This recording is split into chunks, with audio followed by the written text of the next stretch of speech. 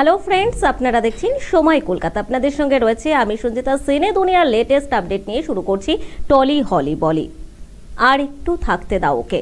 এসব লেখার অনেক সময় পাবে। রাত দুটো নাগাদ এই পোস্টে করতে বাধ্য হলেন সব্যসাচী। হঠাৎ করে ঐন্দ্রিলার ভুয়ো মৃত্যুর খবর চাউর হয়ে যায় নেট মাধ্যমে। আর তারপরেই এই পোস্ট করতে বাধ্য হন সব্যসাচী।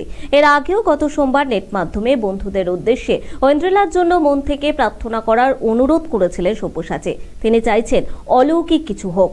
আবারও আগের মতো উঠে বসুক ওয়েন্দ্রেলা হাসপাতাল কর্তৃপক্ষ জানিয়েছে ওয়েন্দ্রেলার শারীরিক অবস্থা এখনও সংকটজনক। অভিনেত্রীকে ভেন্টিলেশন সাপোর্টেই রাখা হয়েছে। বুধবার সকালে হৃদরোগে আক্রান্ত হওয়ায় ওয়েন্দ্রেলার শারীরিক অবস্থার অবনতি হয়। তারপর থেকে তিনি ভেন্টিলেশনেই রয়েছেন বলে জানাচ্ছেন চিকিৎসকেরা। হাসপাতাল সূত্রে খবর ওয়েন্দ্রেলার শারীরিক অবস্থা এখনও স্থিতিশীল নয়, বরং আগের মতোই সংকটজনক রয়েছে। তাকে সিপিআর দেওয়া হয়েছে। মঙ্গলবার হাসপাতাল সূত্রে জানা গিয়েছে, ব্রেন স্ট্রোকের পর মাথার যে পাশে অস্ত্রোপচার হয়েছিল ওয়েন্দ্রেলা তার বিপরীত দিকে রক্ত জমান বেঁধেছে। স্ক্যান রিপোর্টে তা জানা যায়। তাছাড়া বুধবারেও ওয়েন্দ্রেলা জ্বর কমেনি। তারপর পরপর দুবার হৃদরোগেও আক্রান্ত হন অভিনেত্রী।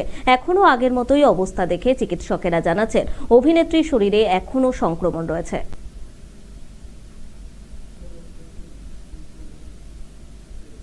মুক্তির অপেক্ষায় সদ্ভুত, অদ্ভুত। সম্প্রতি হয়ে গেল ছবির ট্রেলার ও মিউজিক লঞ্চ আর অনুষ্ঠানে হাজির হয়েছিলেন সমস্ত কলাকুশলীরা। ফের বড় পর্দায় দেখা মিলবে ভূতের রাজার আর এবার সেই ভূমিকায় দেখা যাবে পরাণ বন্দ্যোপাধ্যায়কে। আসছে পরিচালক প্রীতম সরকারের সদ্ভুত, অদ্ভুত। অভিনয় একাধিক পরিচিত মুখ। এই সিনেমায় দেখা যাবে পরাণ বন্দ্যোপাধ্যায়, খরাজ মুখোপাধ্যায় পার্থসারথী প্রসূন গায়েন, রাজু মজুমদার, পূজা সরকার, এভলিনা চক্রবর্তী সহ আরও অনেককে।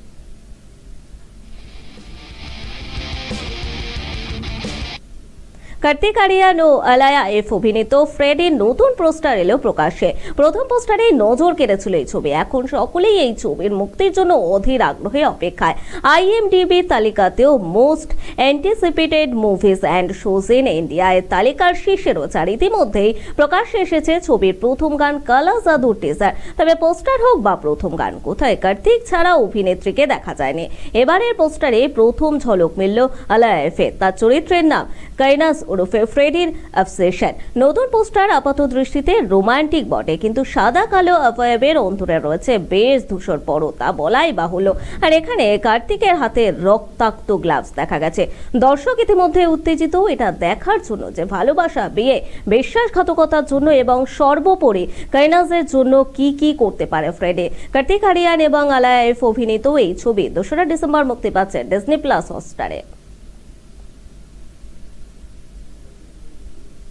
দক্ষিণী ছবিতে হাত ধরে কেরিয়ারের শুরু। বাহুবলীর পর থেকেই ধীরে ধীরে বলিউডেও জনপ্রিয়তা বাড়ছে তামান্না ভাটিয়ার। এখন পুরো দমে দো ইন্ডাস্ট্রিজ কাজ চলছে অভিনেত্রীর। আর এর মধ্যে শোনা যাচ্ছে, বিয়ের পিড়িতে বসতে চলেছেন অভিনেত্রী, পাত্র মুম্বাই নিবাসী বড় শিল্পপতি। শোনা যাচ্ছে, এই মুহূর্তে হাতে কোনো ছবির কাজও নাকি নিচ্ছেন না অভিনেত্রী। কিন্তু তামান্না কি বলছেন তার বিয়ের খবর নিয়ে? আসলে তামান্না আগে বিভিন্ন সময় সাক্ষাৎকারে জানান তিনি তার মা বাবার পছন্দেই বিয়ে করবেন।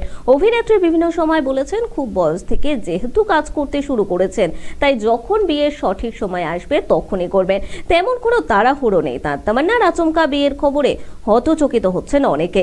কিন্তু গল্প ঘুরছে অন্যদিকেই খবর জানাজানি হওয়ার পর নিজের ইনস্টাগ্রাম স্টোরিতে একটি ভিডিও পোস্ট করেন অভিনেত্রী। সেখানে নিজে দুটি আলাদা রূপের ভিডিও শেয়ার করে লেখেন, আসুন, পরিচয় করে নিন আমার ভবিষ্যৎ শিল্পপতি স্বামীর সঙ্গে। পাশাপাশি হ্যাশট্যাগ জুড়ে দেন, ধন্যবাদ আমার জীবনে চিত্রনাট্য লেখার জন্য। এক কথায় অভিনেত্রী তার বিয়ে জল্পনাকে নস্বাত করেছেন। হেরা ফেরি থ্রি ছবিতে অক্ষয় থাকছেন। নাকি কার্তিক আরিয়ান? বেশ কয়েকদিন ধরেই বলিউডে এইসব নিয়ে তুমুল চর্চা চলছে। একদিকে হেরা ফেরির অন্যতম অভিনেতা পরেশ রাওয়াল টুইটে জানিয়েছেন, কার্তিকের এন্ট্রি নেওয়ার কথা। আর বলিউডের গুঞ্জন বলছে, অক্ষয়কে সরিয়ে কার্তিক কিন্তু এই ছবিতে জায়গা করে নিতে একেবারে তৈরি। কিন্তু সম্প্রতি সুনীল শেট্টির মন্তব্যে হেরা ফেরি থ্রি ছবি নিয়ে জট আরও যেন শক্ত হলো। ব্যাপারটা একটু খোলসা করেই বলা যাক। সম্প্রতি একটি ছবি প্রচারে সুনীল শেট্টিকে এই বিষয়ে প্রশ্ন করা হলে তিনি স্পষ্ট জানান, কার্তিক কখনোই হেরাফেরি থ্রি ছবিতে অক্ষয়ের জায়গায় এন্ট্রি নিচ্ছেন না। কার্তিককে দেখা যাবে অন্য এক চরিত্রে। তবে অক্ষয়কে নেওয়ার জন্য পরিচালকের সঙ্গে একবার কথা বলবেন বলেও জানান, কারণ অক্ষয় ছাড়া হেরাফেরি সম্ভব নয়। এদিকে কান পাতলেই শোনা যাচ্ছে, হেরাফেরি থ্রি ছবির জন্য নাকি নব্বই কোটি পারিশ্রমিক চেয়েছিলেন অক্ষয়। প্রযোজক এতে রাজি না হওয়ায় অক্ষয় ছবিটি ছাড়েনি। অন্যদিকে শোনা যাচ্ছে, এই ছবির জন্য নাকি কার্তিক তিরিশ কোটি টাকা পারিশ্রমিক হিসেবে নিয়েছেন। তবে এক সর্বভারতীয় সংবাদ মাধ্যমকে প্রতিক্রিয়া দিতে গিয়ে অক্ষয় জানিয়ে দেন হেরাফেরি ফ্র্যাঞ্চাইজির নতুন ছবিতে তিনি অভিনয় করছেন না। কিন্তু কেন? এই প্রশ্নের উত্তরে বলিউডের খিলাড়ি জানান, ছবি চিত্রনাট্য তার পছন্দ হয়নি, সেই কারণেই অভিনয় প্রস্তাব ফিরিয়ে দেন। অবশ্য কারণ যাই হোক, চলতি বছরের শেষে নতুন ছবি শুটিং শুরু হচ্ছে বলেই খবর।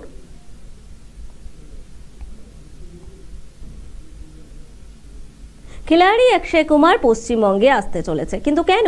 আনুষ্ঠানিকভাবে অক্ষয় কুমারের টিম জানালো খিলাড়ির বাংলায় আগমনের কারণ। জানা গিয়েছে, অক্ষয় কুমারকে আগামী দিনে জসবন্ত সিং গিলের চরিত্রে দেখা যাবে। জসবন্ত সিং গিল অর্থাৎ কয়লা খনির ইঞ্জিনিয়ার যিনি কয়লা খনির খাদানে আটকে পড়া পঁয়ষট্টি জন শ্রমিককে উদ্ধার করেছিলেন আর এই ঘটনা বাংলার রানীগঞ্জের এবারে বাস্তবের হিরোকে নিয়েই তৈরি হতে চলেছে বায়োপিক আর তার নাম, ভূমিকায় অভিনয় করবেন অক্ষয়। অক্ষয় নিজেই এই বিষয়টি নিয়ে বেশ উচ্ছ্বসিত। তিনি এই বিষয়ে একটি টুইট করেন এবং প্রযোজককে ধন্যবাদ জানান। তিনি টুইট করে লেখেন, তেত্রিশ বছর আগে ভারতের প্রথম কয়লা খনি থেকে শ্রমিকদের উদ্ধার কাহিনী মনে করানোর জন্য ধন্যবাদ। এই ছবিতে অক্ষয় কুমার ছাড়াও দেখা যাবে পরিণীতি চোপড়া, লঙ্কেশ ভরদ্বাজ, রাজেন্দ্র কুমার প্যাটেলকে। টিনু সুরেশ দেশাই এই ছবির পরিচালনা করছেন আর ইতিমধ্যে এই ছবির অনেকটা অংশই নাকি শুট করা হয়ে গিয়েছে। জানা গিয়েছে এই ছবির খানিকটা অংশ ইংল্যান্ডে শুট করা হয়েছে। আর বাকি অংশের শুটিং হবে এই বাংলায়। রানীগঞ্জ এবং তার আশেপাশের এলাকায় এই ছবির বাকি শুটিং হবে বলেই জানা গিয়েছে। টলি হলি বলি এখনকার মতো এই পর্যন্ত। দেখতে থাকুন সময় কলকাতা। সময় বলবে, সময়ের কথা।